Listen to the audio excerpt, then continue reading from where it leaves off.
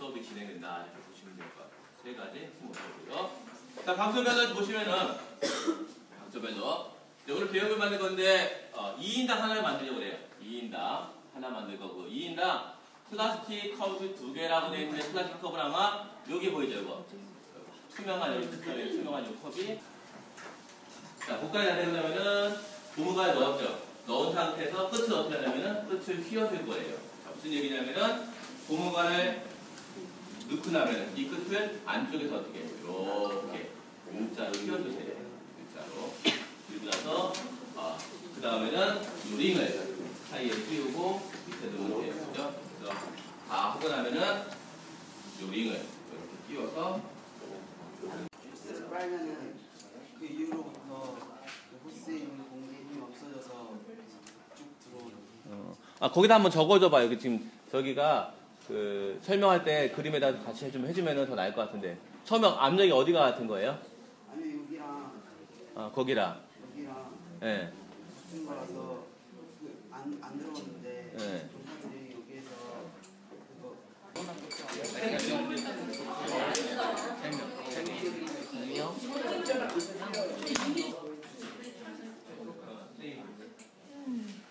위에다 써좀 쉽게 스캔으로 위에다가 원리를 좀 써주면 좋겠다. 원리 원리 어. 자. 그 위에다가 설명을 좀 적어드리는 게 좋을 것 같아요. 여기 펜, 요거 펜 누르면은 거야.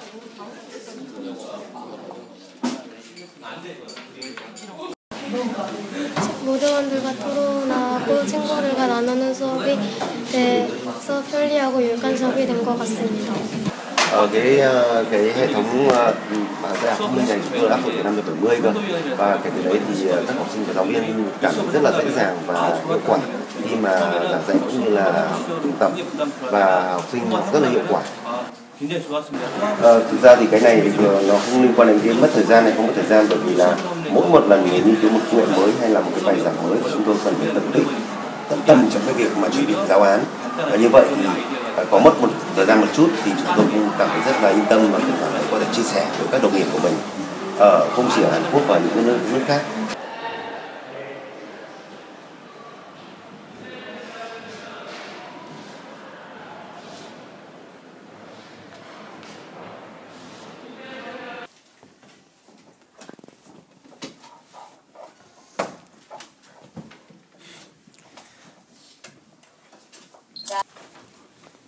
I need a camera to take pictures. Shin Hyun-chan, why do I type in the answers like this sample sentence? Alright? I'll give you two minutes. I need a camera. Lee Kyung-min, would you like to answer it? Very good. Now this time I những cái bài à, giảng rất là sống động để có thể chuẩn bị bài giảng. Và ở trong lớp thì chúng tôi cũng có thể lấy kết quả ngay lập tức ờ, của các cái học sinh. Vì như vậy là giúp cho giáo viên tiết kiệm được rất nhiều thời gian trong cái việc mà kiểm tra sinh viên các kỹ năng nghe nói đọc viết. Và những cái công cụ phần mềm mà giúp cho giáo viên tương tác với học sinh à, giúp cho tôi à, thấy được và đánh giá được các cái học sinh à, học sinh nào yếu môn nào và học sinh nào kém. thiết bị này giúp cho ờ, học sinh chúng em có thể ờ, biết ngay được cái câu đáp án trên cái cơ sở dữ liệu ở trong nhà trường. Và chúng em biết được là à, cái bài tập nào mình làm đúng và bài tập nào là mình làm sai. và mình có thể hỏi cô ngay trong lớp để nâng cao và cải thiện luôn cái cái điểm yếu của đó. Like this. Sample sentence. Alright? I'll give you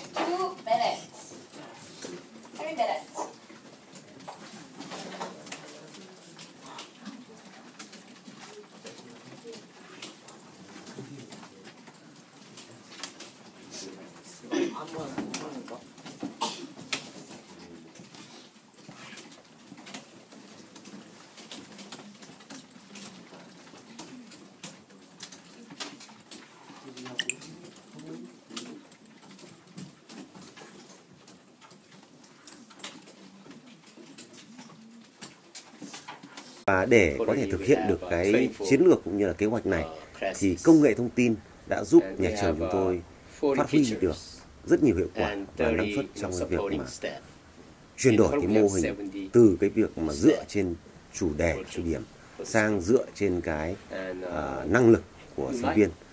à, bằng cách là à, qua cái công nghệ thông tin thì giúp cho sinh viên cũng như học sinh cũng như là giáo viên có thể à, khích lệ trong cái việc học hành.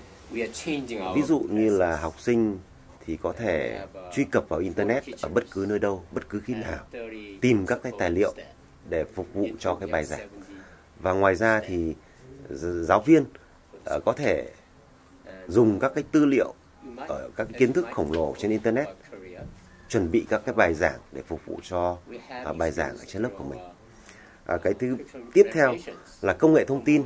Để giúp cho cái việc mà chuyển đổi cái cái cái thay đổi này thì cái công nghệ thông tin giúp cho giáo viên và học sinh tương tác với nhau rất là hiệu quả trong lớp học. À, ở trong lớp học chúng tôi có internet.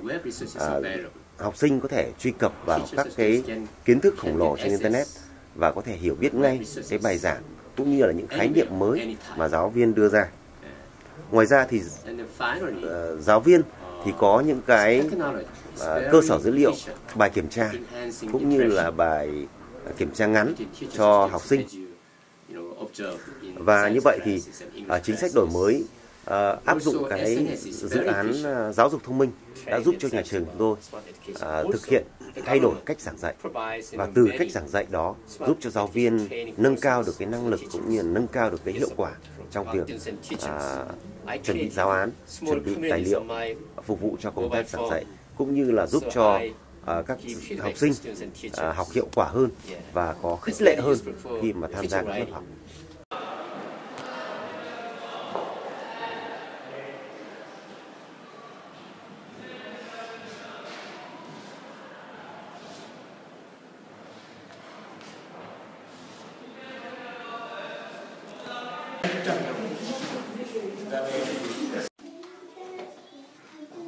Louder, a little louder. Do you have a toy train inside you? Inside you. Do you have a toy train? I have a toy train. Do you have a baby doll? Nice. Nice. Do you have a toy doll? Toy doll. Excellent. Toy doll. Yes, I do. Yes, I do. Do you have a toy doll? All right, Eddie. You're popular now. Này thì uh, cần phải có làm việc một cách thông minh hơn à, không nhất thiết là phải ngay từ đầu phải chi quá nhiều tiền à, cho cái việc mà à, đầu tư trang thiết bị mà chúng ta phải tìm ra cách nào mà thông minh nhất mà ít tiền nhất. À, có thể là à, lần vừa rồi chúng tôi cũng đã làm việc với à, một cái ban của bộ giáo dục đào tạo của Việt Nam. Có một hội thảo đấy có rất nhiều chuyên gia à, của bộ giáo dục đào tạo cũng tham dự và cũng bàn về cái làm thế nào để có ứng dụng cho Việt Nam. Thì có rất nhiều ý kiến và tôi nghĩ rằng là cái cách tốt nhất là có thể các chuyên gia của Việt Nam có thể chia sẻ với các chuyên gia của các nước trong đó có Hàn Quốc những bài học, những kinh nghiệm mà có thể để xây dựng một cái mô hình áp dụng cho Việt Nam. Chứ không phải nhất thiết đầu tư rất nhiều tiền vào ngay từ ban đầu, mà chúng ta phải có tìm ra cách, giải pháp nào mà thông minh nhất để có thể thực hiện thí điểm và có thể đi, mình tạm gọi là đi tắt đón đầu và một cách ngắn gọn ờ, nhanh nhất. Vậy thì cái việc mà xây dựng một cái cộng đồng cho các chuyên gia của Việt Nam tham gia vào ứng dụng các mô hình cũng là thiết kế cái mô hình giảng dạy cho giáo viên Việt Nam là điều tất yếu và điều rất là cần thiết để có thể giúp họ nhận được những kinh nghiệm của các nước khác cũng như có thể nhận được chuyển giao những cái mô hình hay là những cái à, tài liệu quý mà các nước khác đã ứng dụng à, trong cái thời gian thí điểm. Và như vậy thì tôi nghĩ rằng là đây là cách mà có thể cách thông minh nhất. Có thể là người Hàn Quốc có thể là Ừ, khá giả hơn người Việt Nam. Nhưng mà cái điều khó khăn mà chúng tôi cũng gặp phải đó là cái việc mà sự quen thuộc đối với thiết bị mới. Ngay cả giáo viên cũng ngay từ ban đầu khó có thể quen được cái thiết bị mới.